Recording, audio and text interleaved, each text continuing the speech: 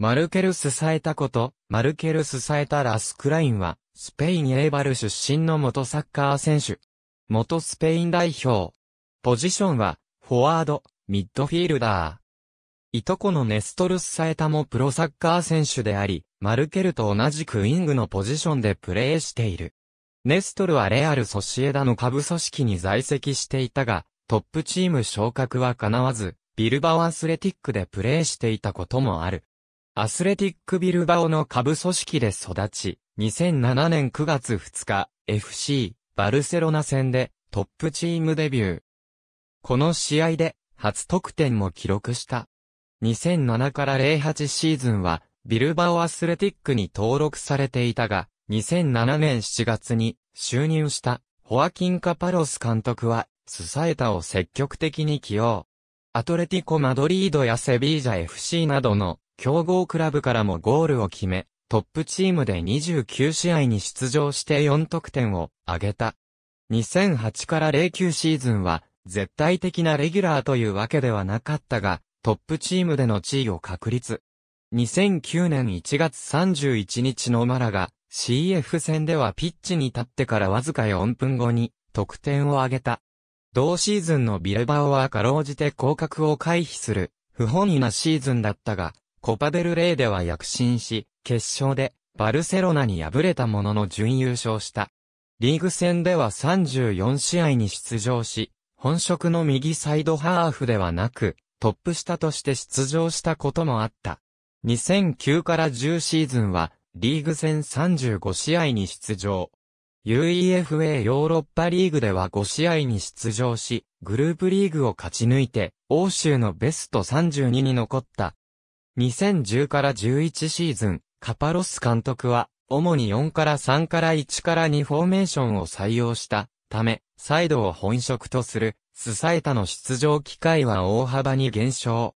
6位と躍進したクラブにあって、不本意なシーズンを過ごした。2011年夏には、カパロス監督が退任して、マルセロ・ビエルサ監督が就任。2011から12シーズンの UEFA、ヨーロッパリーグでは5得点を挙げて、決勝進出に貢献し、シーズン通算では、キャリア最多の13得点を挙げた。コパデルレーでも決勝に進出したが、再びバルセロナに敗れた。エルネスト・バルベルデが監督に就任した2013から14シーズンは、絶対的レギュラーとして、自己最多のリーグ12アシストを記録し、UEFA チャンピオンズリーグ出場に貢献した。2016年、ホセアンヘル・イリバルの持つ欧州カップにおけるクラブ、歴代最多出場記録を更新。ゴルカ・イライソスの対談に伴い、17から18シーズンからクラブのキャプテンに就任。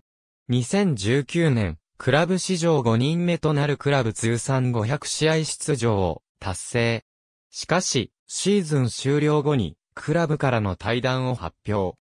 在籍した14年間で507試合56得点87アシストを記録した。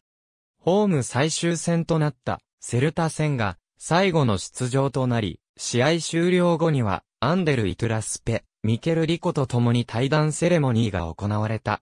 2019年9月9日、J リーグガンバ大阪への完全移籍が発表された。背番号は14番。シーズン終了後、契約満了により退団。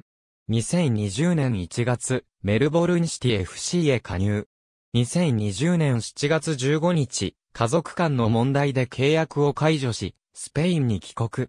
2020年11月18日、マッカーサー FC へ加入した。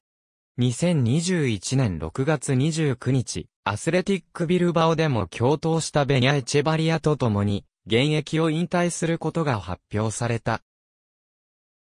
2012年11月9日、ビセンテ・デルボスケ監督によって、スペイン代表に初招集され、11月14日のパナマ代表との親善試合で代表デビュー。この試合で初得点も決めた。スコア欄はスペインの得点を左に記している。ありがとうございます。